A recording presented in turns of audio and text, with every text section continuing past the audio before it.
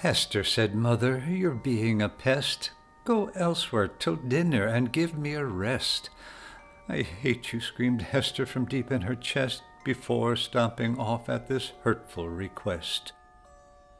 While crying with anger and some indignation, bemoaning her mother's imposed segregation, she saw out her window with deep agitation a tiger appearing without explanation. Hello, said the tiger, please join me outside. Poor Hester just stared with her mouth open wide, while pondering deeply before she replied. I thank you, she said, but I'm too terrified. Tut, tut, said the tiger, your fear I can see, and tigers are fierce, but I do guarantee your safety and merriment, if you agree to come to my lair and have dinner with me? Oh my, Hester said, it sounds lovely, but no, my mother won't like it and won't let me go. I see, said the tiger, but I'm not your foe, and you're not my only friend coming, you know. Hello, said a bear, I am charmed to be sure, dinner with you has a special allure. With you as our guest we will put on our furs. What a night we will have, what a feast will occur. Then Hester let out a most pitiful sigh. My mother will yell at me until I cry, for she's making dinner expecting me nigh. Pish posh, said the tiger, just look who's near by. Hello, said a gator, how sumptuous you seem, and you at our table, mm, oh my, what a dream.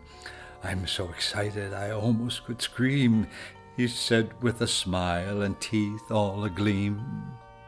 How tempting, said Hester, to join in your feast, but if you knew, mother, your welcome would cease. She'd call you all wretched, dishonorable beasts, and keep me inside for a year at the least. How sad, said the gator, your mother sounds horrid. And said the bear, her judgment's distorted. But, said the gator, you will be supported, for joining with us will ensure she is thwarted. It seems, said the tiger, that I missed my cue. In my excitement I failed to tell you. Your mother will be at our fine dinner too. And the bear and the gator responded, It's true. Then Hester cried out an ecstatic whoopee, and promptly climbed out of her window with glee. This changes everything. Now I am free to make very merry with mother and thee. And what a fine picture the four of them made! They danced and they sang as they marched through the glade.